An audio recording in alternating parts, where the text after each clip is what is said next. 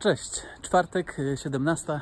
Ja już po pracy i nadaję już z Kopenhagi. Tutaj przemierzam przedmieścia Kopenhagi, wracając z pracy do e, mieszkania, które mam wynajęte w Airbnb, dosyć niedaleko, także idę piechotą.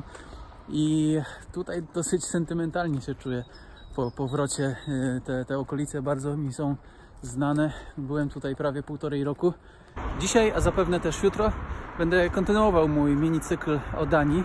Jako, że tu jestem, doskonała okazja, żeby coś odpowiedzieć i się zajmę dzisiaj tematem e, tego mitycznego szczęścia Duńczyków. E, we wszystkich rankingach zawsze są przynajmniej w top 3, jeśli chodzi o takie pojęcie bardzo względne jak szczęście właśnie. I, i porozmyślajmy trochę, czy faktycznie są tacy szczęśliwi, co powoduje, że, że zwyciężają w tych rankingach. Czy to wszystko sprawka tego tajemniczego Hygge? A może to wszystko mają w genach po prostu? I tyle? I to, takie to wytłumaczenie jest? No i ja już się okazało, że wracam. Tak szybko minęły te trzy dni, że aż nawet nie było czasu tutaj więcej porozmawiać.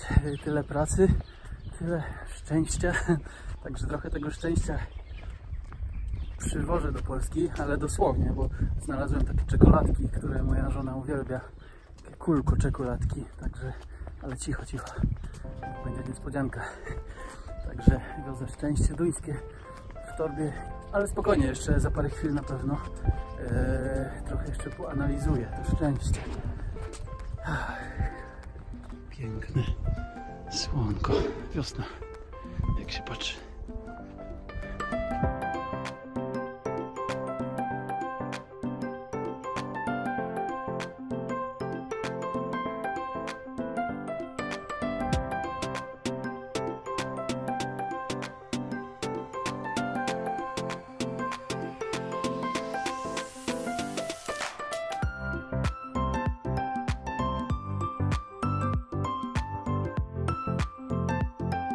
A tymczasem ja już w domu, także zrobił mi się taki odcinek kilkudniowy. I analizując to duńskie szczęście, chciałbym rozpocząć od y, jakże popularnego ostatnio słowa, nawet w Polsce i w całym świecie, hygge, o którym wcześniej wspomniałem. Więc e, ciężko to przetłumaczyć na e, polski jednoznacznie, bo to jest coś nie tylko, nie tylko szczęście czy e, poczucie przebywania w przytulnym miejscu, ale też jakiś rodzaj nastroju e, i sposobu życia wręcz. To też może oznaczać e, konkretne miejsce, więc nie da się tego tak dosłownie przetłumaczyć. E, No niektóre kraje mają takie słówka specjalne. Na przykład wiem, że w Norwegii jest specjalne słówko na przebywanie e, na zewnątrz w trakcie słonecznej pogody i picie piwa. To jest e, jakoś chyba utepils, czy nie wiem, czy dobrze wymawiam, ale jest takie słówko. Więc e, jedną z zasad Hygge jest to, żeby być e, razem ze swoimi przyjaciółmi, jak najczęściej się spotykać i mieć przynajmniej dwie, trzy, cztery osoby, k- em, którym można się zwierzyć i, i pójść po prostu, czy tam pójść raz na parę dni, pogadać o pierdołach. E, chodzi o to też, żeby dobrze zjeść w bardzo przytulnym miejscu i obowiązkiem oczywiście są świece, czyli zrobienie takiego nastroju. Duńczycy się okazuje, że są narodem, e, który zużywa najwięcej e, wosku na całym świecie. Chyba 6 kg na osobę rocznie i wyprzedzają zdecydowanie drugą Austrię, która e, tam chyba 3 czy 4 kg rocznie zużywa na osobę. Więc bardzo dbają o taki klimat przytulny, ciepły i naj, najlepiej, żeby w domu właśnie jeszcze było ognisko, y, ognisko, tak, y, kominek, żeby przy nim usiąść i sobie na przykład y, coś, y, ciepłą herbatkę wypić, czy poczytać książkę. Y, I chodzi też o to, żeby odciąć się od jakichś codziennych trosk od, w dzisiejszych czasach od internetu i po prostu być tu i teraz. Y, najlepiej z rodziną czy z przyjaciółmi. No i zestaw tych właśnie cech, e, może nam się wydawać takie banalne, te wszystkie rzeczy to wiadomo, że są przyjemne, no ale oni to tak właśnie ubrali w jedno słowo, hygge.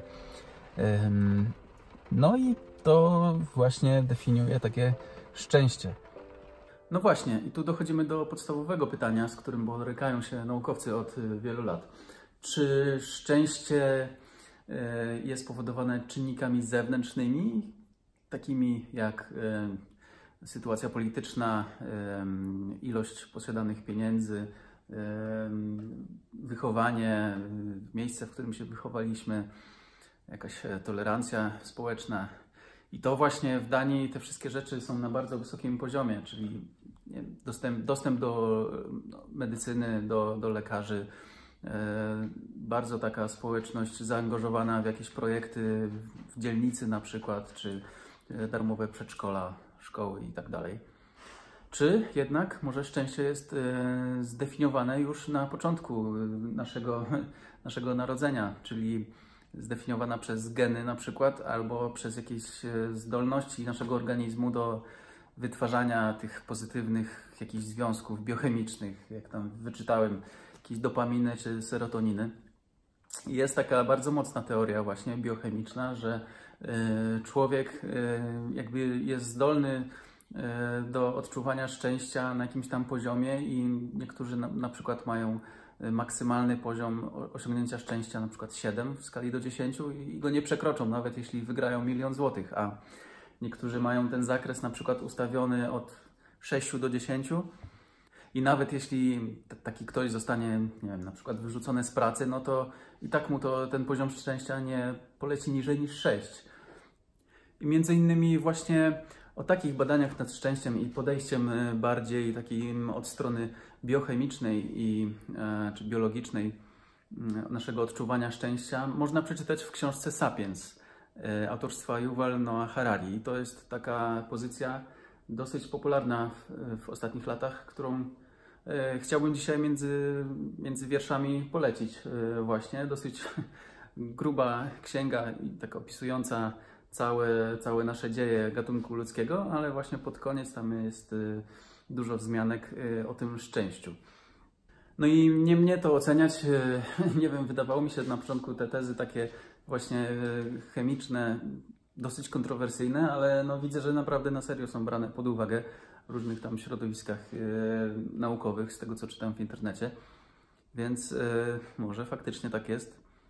Ale wracając do Danii, moim zdaniem te dwie rzeczy, którakolwiek teoria nie jest prawdziwa, tam się po prostu jakoś łączą, bo może jedno wynika z drugiego, drugie z pierwszego ale faktycznie te czynniki zewnętrzne są bardzo sprzyjające, właśnie jak opieka medyczna i dostęp do, do szkół czy do, przedsz do przedszkola i tak. A jednocześnie może faktycznie Duńczycy odziedziczyli jakieś dobre właściwości biologiczne po swoich przodkach, po wikingach, którzy byli rozweseleni po swoich podbojach, zdobyczach i e, pływając sobie wesoło na morzu. Może tak było. Jeszcze warto wspomnieć, y, jak takie badanie szczęścia się odbywa. Y, otóż można, jest wiele oczywiście metod, można y, zbadać ciało pod względem biologicznym jakoś, nie wiem szczerze mówiąc jak. Można zbadać zachowanie obserwując danego osobnika i, i, i jakoś subiektywnie ocenić, czy jego życie jest szczęśliwe, czy nie. Ale najpopularniejszą formą i najczęstszą chyba właśnie w tych badaniach które są publikowane e, publicznie, jest e, ankieta, w której ludzie muszą siebie sami opisać, swoje życie i są im zadawane, jest im zadawany szereg pytań, w których e, muszą odpowiedzieć od 1, załóżmy do 10, jak bardzo zgadzają się z tezą, na przykład, że są usatysfakcjonowani z życia i wtedy od 1 do 10. Albo, że mm, jak dotąd moje życie było idealne, tam od 1 do 10 albo um, jeśli, jak bardzo zgadzasz się z twierdzeniem, jeśli miałbyś jeszcze raz przeżyć swoje życie, przeżyłbyś je tak samo i od 1 do 10.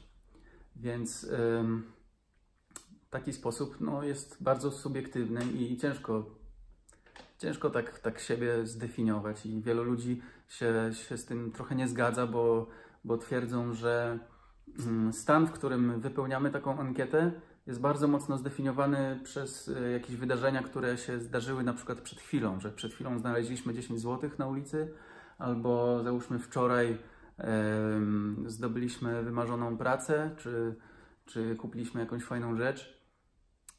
i to może bardzo mocno wpłynąć na tą ankietę. No i oczywiście negatywne zdarzenia również. No i jeszcze na koniec e, takie dwie statystyki, ciekawostki, e, bo niektórzy jak słyszą o tym duńskim szczęściu, to od razu mówią, a zobacz ile mają tam samobójstw. I faktycznie może mieliby rację w latach 80., może ten stereotyp tak jakoś przylgnął do Duńczyków. Faktycznie wtedy z tymi samobójstwami mieli dosyć duży problem. Na 100 tysięcy ludzi e, wtedy liczba samobójstw wynosiła 30 e, w roku, a teraz ten e, odsetek spadł już w, w latach 2015 czy, czy teraz do 12-13 osób e, popełniających samobójstwo na 100 tysięcy ludzi rocznie.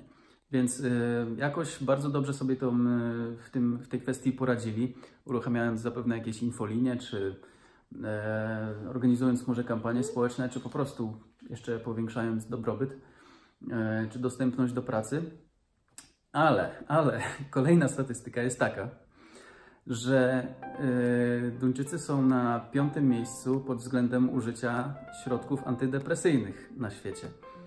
A więc ktoś yy, złośliwy mógłby powiedzieć, że no dobra, są szczęśliwi i ten odsetek samobójstw się zmniejszył, no ale kosztem tego, że używają tak dużo antydepresantów. Yy, co ciekawe, na, w pierwszej piątce jest yy, użycia antydepresantów jest, yy, są Stany Zjednoczone, Australia, Kanada, i Islandia bardzo wysoko. A Islandia też jest ostatnio bardzo, bardzo wysoko, chyba czasami nawet na pierwszym miejscu, jeśli chodzi o e, rankingi mierzące szczęście, więc no, może jakaś jest między tym korelacja.